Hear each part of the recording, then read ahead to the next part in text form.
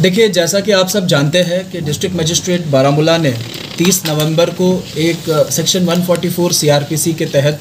एक order issue किया है, जिसकी वजह से, आइंदा से कोई भी शख्स अगर किसी भी सोशल मीडिया के ज़रिए किसी दहशत गर्दाना तंजीम से वाबस्ता कोई भी पोस्ट शेयर करता है या उसको कंज्यूम करता है, या अपने किसी ग्रुप्स में शेयर करता है, या अपने किसी सोशल मीडिया हैंडल में पोस्ट करता है, जिससे कि दहशत गर्दाना कार्रवाइयों को बढ़ावा मिले, या लोगों में दहशत गर्दाना तंजीमों के प्रति जो है डर पैदा हो, या लोगों में कम्युनल डिसहारमनी पैदा हो, ऐसे किसी भी पोस्ट को शेयर करने वालों के खिलाफ पाबंदी लगाई गई है। आ, मैं आप सबको बताता चलूँ कि यूएलपीए और इंडियन पिनल कोड के मुख्तलिफ़ सेक्शंस के तहत ये एक कानूनन जुर्म है और इस ऑर्डर की वजह से अब ये आयत हो चुका है हम पे कि जो भी शख्स इस तरीके से डिजिटल डिवाइसेस पे या अपने सोशल मीडिया का इस्तेमाल करते हुए टेररिस्ट ऑर्गेनाइजेशन से इशू किए गए कोई भी पोस्ट को या सेपरेटिस्ट ऑर्गेनाइजेशन से पोस्ट किए गए किसी भी मैसेज को अगर अपने सोशल मीडिया हैंडल्स के ज़रिए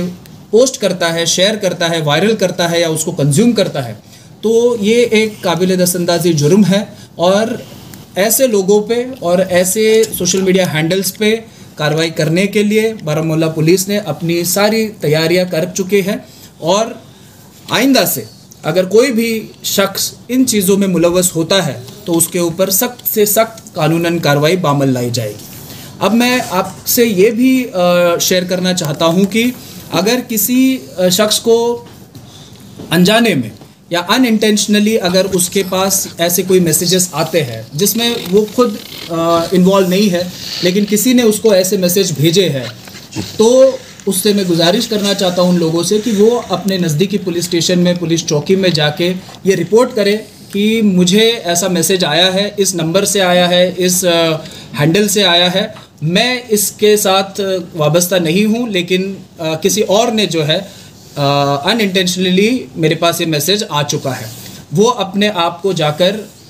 क्लैरिफाई करे पुलिस स्टेशन में ताकि उसके ऊपर कोई क्रिमिनलिटी नहीं बनेगी। अगर वो ऐसा करने से चुकता है तो फिर जो क्रिमिनलिटी है वो उस पर इस्टेब्लिश हो जाएगी और उस पर कानूनन कार्रवाई होगी। मैं ख़ास तौर पे बारामूला के जो पेरेंट्स हैं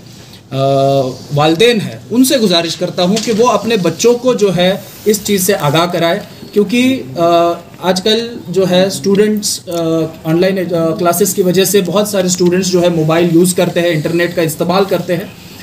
वालदेन की ये ज़िम्मेदारी है कि वो चेक करें कि हाँ, उनके बच्चे ख़ास तौर पे टीनेजर्स यंगस्टर्स किस तरीके का सोशल मीडिया कंटेंट कंज्यूम कर रहे हैं। इस तरीके से अगर उनके मोबाइल में कोई पोस्ट किसी तरीके के इंटिमिडेशन भरे मैसेजेस आ रहे हैं तो वालदेन की ये ज़िम्मेदारी है कि वो नज़दीकी पुलिस स्टेशन में आके इसको शेयर करे और ख़ुद को जो है आने वाली कानूनन कार्रवाई से बचाए। जो भी व्यक्ति अगर इंटेंशनली जानबूझकर किसी भी टेररिस्ट ऑर्गेनाइजेशन या सेपरेटिस्ट ऑर्गेनाइजेशन के मैसेजेस उनके पोस्ट उनके इंटिमिडेशन को अगर शेयर करता है वायरल करता है तो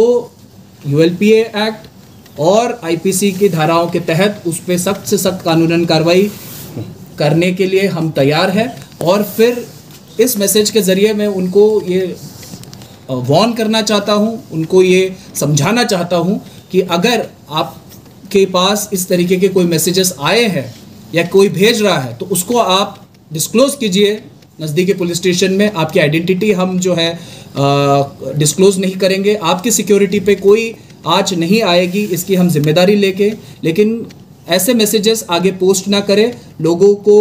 आ, जो है और परेशानी में हम देखना नहीं चाहते। हम चाहते हैं कि लोग महफूज रहे और उनके तहफ़ के लिए बारामूला पुलिस जे पुलिस हमेशा तैनात रहेगी। Thank.